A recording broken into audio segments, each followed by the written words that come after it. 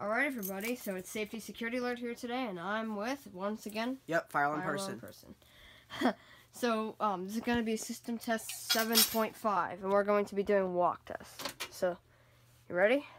Let's go ahead and put Yep. this in walk test. Go ahead and put it in walk test. Yep. There we go. All right, perfect. So, And then I'll go ahead and I hear a siren. yeah. So there you go. Now we're going to start with the T-bar, and I will go ahead and... 4251-20. Yes. So here we go. We'll key act- and we're going to be key activating all the devices in Yes. this test. So Yes. here we go.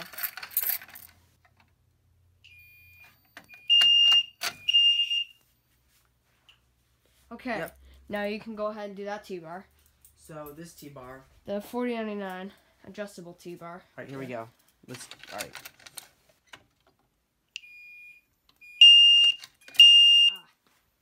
There you go. And do you want to do the smoke detector, or should we do that after? I think we need to reset the system because it's on the same. No, well, when it's in walk test, it, Oh yeah, it's okay. right. Okay. Yep. Ready? And there's the Mercom. So we, yeah, go ahead.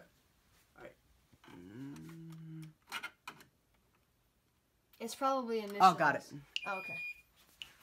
Yep. Ha. Did it. So we have Mercom, Mercom, or Amsicom, Mercom, and Mercom. So yep, there's the same, and there's yeah. So we have all the same devices, and I'll go ahead and key activate this one once I find my Fire-Lite key. All right, go and do this. Okay, there you go.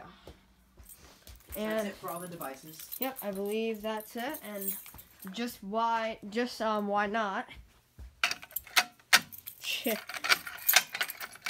So yeah, when a device has already been activated, it acts kind of silly. Okay, so I'll go ahead and reset the panel. And only Zone 4 and Zone 3 are hooked up. Yep, there you go. No troubles. No troubles. Alright guys, thanks for watching. See you guys later. Bye. See ya.